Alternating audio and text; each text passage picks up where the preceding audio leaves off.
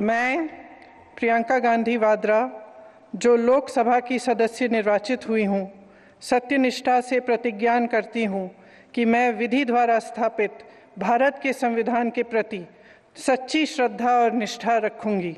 मैं भारत की प्रभुता और अखंडता अक्षुण रखूँगी तथा जिस पद को मैं ग्रहण करने वाली हूँ, उसके कर्तव्यों का श्रद्धा पूर्वक निर्वहन करूँगी। जय हिंद। मैं प्रियंका गांधी वाद्रा जो लोकसभा की सदस्य निर्वाचित हुई हूँ, सत्यनिष्ठा से प्रतिज्ञान करती हूँ कि मैं विधि द्वारा स्थापित भारत के संविधान के प्रति सच्ची श्रद्धा और निष्ठा रखूँगी।